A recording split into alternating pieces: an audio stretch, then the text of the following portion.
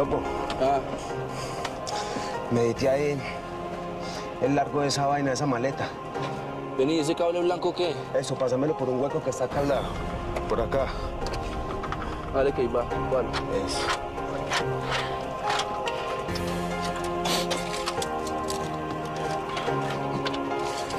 Igual, ¿sabe qué es lo que tenemos que hacer? Tenemos que meterle dinamita de carro, hermano, porque el carro de ese man es un Mercedes y eso es fin, oiga. Es que Topo, eso no es porque sea Mercedes, sino porque esos carros son muy blindados. ¿Mm? Y no importa la cantidad de dinamita que le metamos.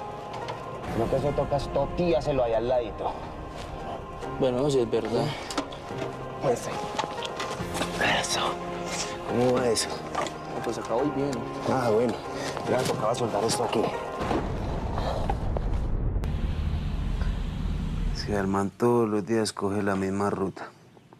Todos los días madrugadito y a la misma hora.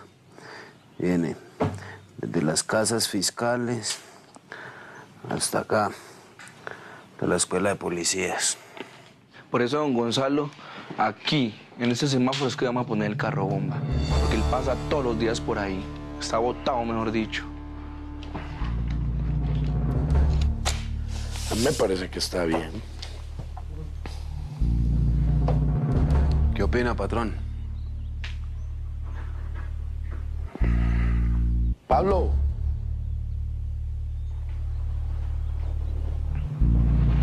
Sí, está perfecto.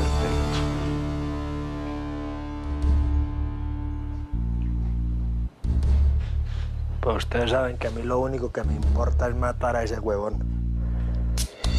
Ya como lo vayan a hacer ustedes, es problema de ustedes y no mío. Fresco, patrón, que eso está hecho. Vea, ese man está botado. Desde que él llegó, nosotros no le hemos hecho nada. Entonces yo ¿qué creo lo que le está... espectador. Entonces, ¿eso qué? Eso está muy demorado, topo. Sí, señor, tiene toda la razón. Ya mismo me comunico con Kiko y con Caín en Bogotá y soluciono eso. Viste, cuidado con la dinamita, que usted sabe que esos mancitos no saben manejar eso. Dale. Gonzalo, yo necesito que a partir de hoy usted en las finanzas incluya la dinamita, porque de ahora en adelante la vamos a comprar al por mayor.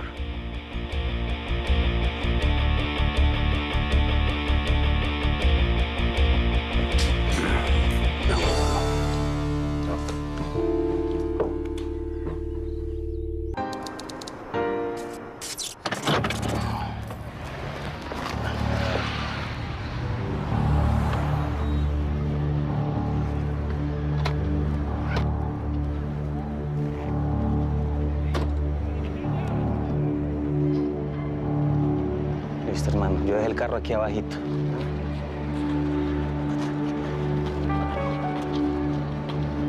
Vamos, lo que en dos minutos pasa esa caravana.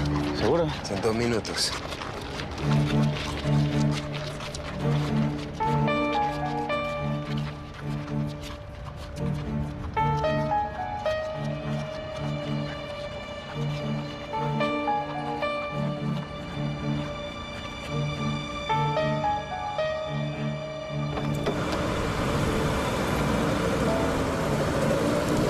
Listo, Chile. Listo, listo, hermano.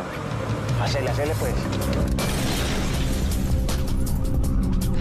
¿Qué fue eso?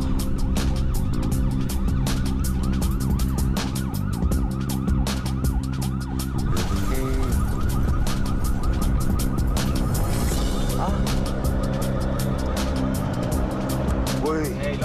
Respuesta inmediata, loco.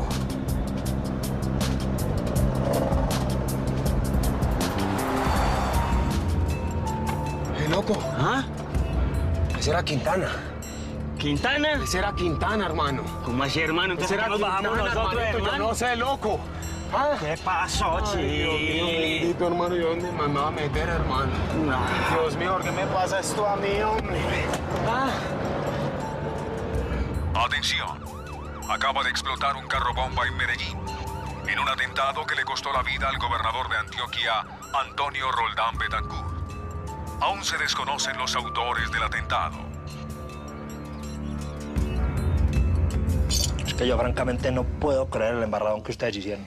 Es increíble esa vaina, de verdad. Patrón, hombre, es que...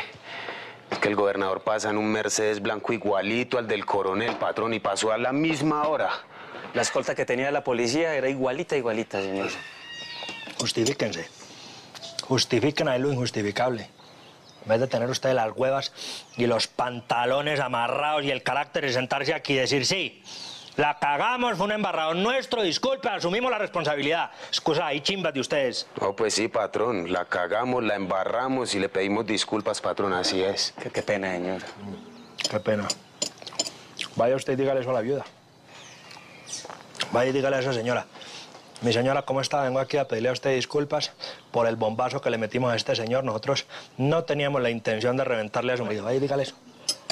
Y la misma huevonada es con lo de Bogotá, ¿no es cierto? Tampoco. Quieto eso también.